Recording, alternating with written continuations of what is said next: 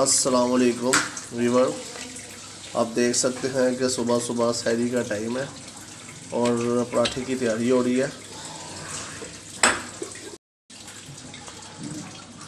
ये देखें जी पराठा बन रहा है। ये कौन सा पराठा बन रहा है? वलों वाला पराठा। ये देखें जी वलों वाला पराठा बन रहा है। ये देखें जी वलों वाला पराठा तैयार हो रहा है। ये देखें। चकोर पराठा? वलों वाला नहीं? नहीं वलों वाला भी नहीं बना। चले जी, ये चकोर पराठे का देखें आप कैसे बन रहा है। मैंने कहा हमारा अगर बोलो चकोर पराठा बन रहा है तो आपके साथ शेयर किया जाए। पहले हमने आटे को गूना अच्छी तरह, ज़रा सख्त, और उसको थोड़ा सा वेल करके ना, ये देखें अच्छी तरह वेल करके। आपको पता होता है कि सैरी का टाइम होता है थोड़ा सा टाइम होता है, और जल्दी जल्दी में ये चीज़ें तैयार होना होती है। तो ये देखें ये देखें वीवर्स पहले इसके ऊपर हम लगाएँगे कि नाम है ऑयल ऑयल लगा रहे हैं इसके ऊपर। और फिर कटर की मदद से ना हम इसको काट लेंगे। आप कटर नहीं है तो आप छुरी के साथ भी काट सकते हैं। हमारे पास कटर है, हमने ज़रा आसानी के लिए इसलिए कटर यूज़ किया। ये देखें, इस तरह काट लें इसको आप। काट के, और इसको ऐसे आपने ना, एक दूसरी तय के ऊपर दूसरी तय रखते जाना, अच्छी तरह।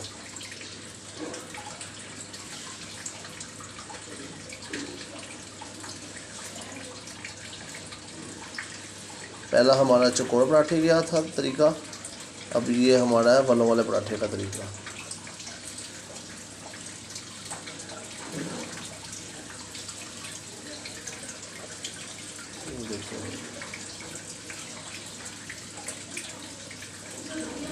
ऐसे वल करने से ज़्यादा क्या नाम है ना, मज़े का बनता है, क्रिस्पी बनता है। ये देखें जी, एक हमारा चकोड़ पराठा है। और एक हमारा वलो वाला पराठा है। अब दूसरे पराठे भी ऐसे हम तैयार कर लेंगे अपने लिए ना। एक और तरह से बना रही तीन एक- तरह से पराठे तीन पराठे और एक ही है पराठा। एक ही इसकी रेसिपी अभी बेगम शेयर करेंगी मेरी आपके साथ। ये कौन से तरीके का कौन से तरीके का ये? ये भी बलों वाला पराठा है लेकिन इसका तरीका थोड़ा सा डिफरेंट है। ये दादियों वाला तरीका? हाँ जी दादियों वाला तरीका। जी ये दादियों वाला तरीका है। वो ये दो फैंसी तरीके हैं और ये हमारी दादियों वाले तरीके हैं। जो पुराने तरीके हैं ना जो हमने अपने थोड़ा सा ऐड हुआ हुआ नया। नया ऐड हो गया वैसे भी ओके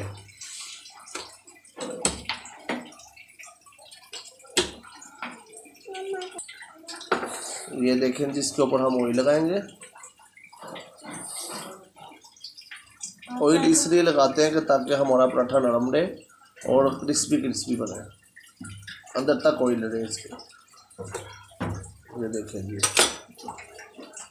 ये तरीका है इसका, माशाल्लाह। ऐसा लग रहा है जैसे चाँद को काट दिया और चंदा को बना दिया।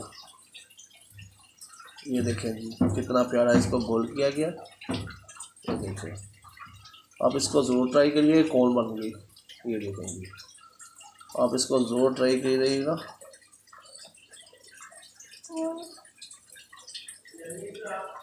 ये देखिए एक हमारा चकोर एक हमारा वलों वाला और एक हमारा कौन वलों वाला पराठा। बाकी जिनसे वो सादी रोटी हैं सबकी। सादी रोटी है? हाँ, पराठा नहीं खाते। चलिए ये देखें ये वो सादी रोटी बाकी बन रही है। ये मेरी मामा की सूखी रोटी है। वो ऑयल नहीं खाती उन्हें ऑयल बना है ये देखें। जल्दी जल्दी में मेरी वाइफ बना रही है। ये देखें। शहरी का टाइम बहुत कम है। जाग तो नहीं होते हैं पर टाइम जब होता है ना थोड़ा सा ही रह जाता है शहरी का। अक्सर चाहे चाहे हमारी हाथों में रह जाती है या पड़ी रह जाती है ज़ाया हो। या ऐसा होता है ही होती है ज़्यादातर ना चाहे हमारी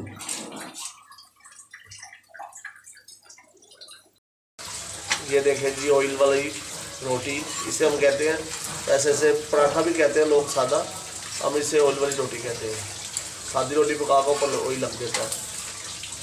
एक एक ये तैयार हुई रोटी हमारी शहरी में। ये वाला पराठा जो है ये मैं दे दूँगी। ये देखें इससे अच्छी तरह आटा लगाएँगे हम। उसका ये है कौन फलों वाला पराठा, जो पुराने तरीके का होता है, ये वो पराठा है। जो अम्मा दादियों के तरीके के पराठे हैं।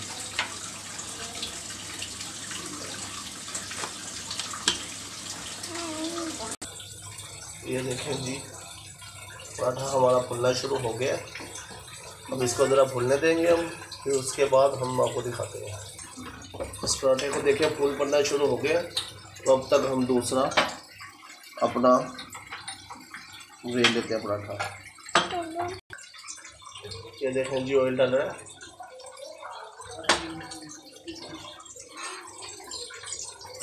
ये देखें ऑयल हमने डाल दिया अब इसकी रंगत इन अल्लाह की रहमत से, सैरी की रहमत से देखें जी, इसकी रंगत बहुत प्यारी हो जाएगी। आप मैदे का भी पराठा बना सकते हैं, मैंने गंदम का पराठा बनाया है। ये देखें जी, माशाल्लाह माशाल्लाह, कितना प्यारा कलर आया इसके ऊपर। अब देख सकते हैं। ये दादियों के टाइम का पराठा है। ये देखें जी, दूसरी तरफ़ से कितना प्यारा कलर आया ये देखें। ये देखें जी दूसरा पराठा हमारा तैयार हो रहा है, जो हमने काट के बनाया था।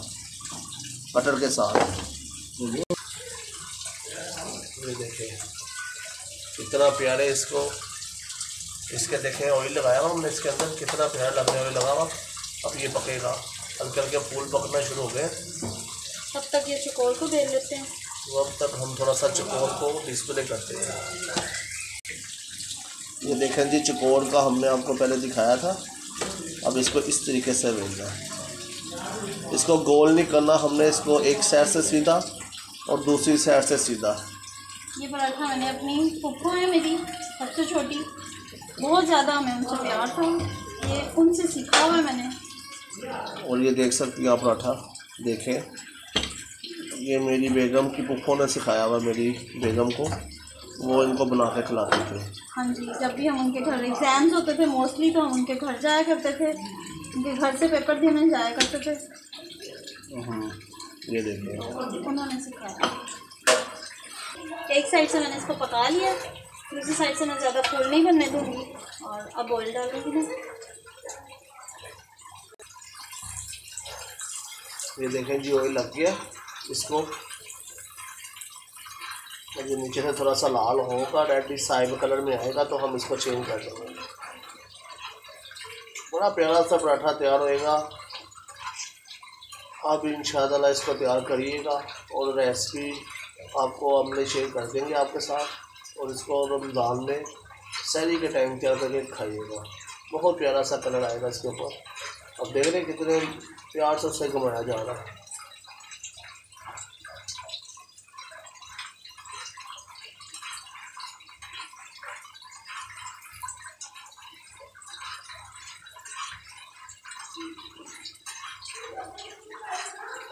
ये देखिए, माशाल्लाह माशाल्लाह।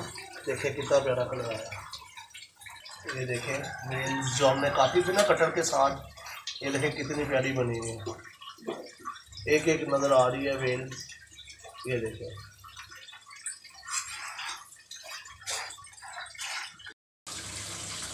ये देखें जी, हमारा चकोर पराठा। आप देख सकते हैं कितने प्यारे इसके कोने हैं और कितने प्यारा तरीके से ये देखें मेरी वाइफ ने इसको डिस्प्ले किया। और देखिए फूल बनना शुरू हो गया। चल के इसके ऊपर।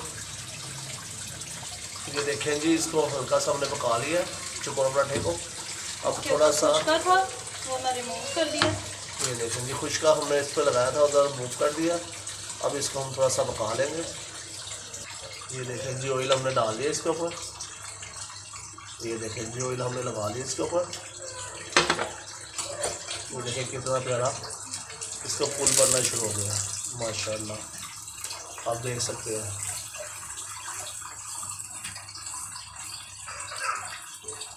ये मेरी नानो फुप्पो हैं, जिन्होंने मुझे सिखाया था। अल्लाह उनको ज़िंदगी दे, अपने घर में आबाद रखे।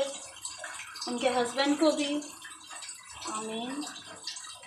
और मोस्टली जब वो बनाती थी, उनका पराठा माशाल्लाह से बहुत ज़्यादा सॉफ्ट होता था। तो जब मैं शादी से पहले बनाती थी तो मुझसे ये क्रिस्पी हो जाता था। लेकिन अब मैं नाना फूफो से कहना चाहूँगी कि अब मेरा पराठा आपकी तरह सॉफ्ट होने लग गया और अब मैं सब कुछ बना लेती हूँ।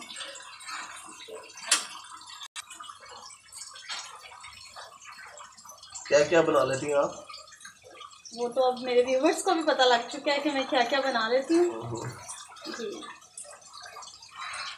बस एक वक्त होता है जब इंसान सब कुछ सीख जाता है। सही। और हर चीज़ का एक वक्त होता है। कुछ भी वैसे भी इंसान कभी भी परफेक्ट नहीं हो सकता। सही। चलें ये भी ऑलमोस्ट हमारा पराठा बिल्कुल रेडी है।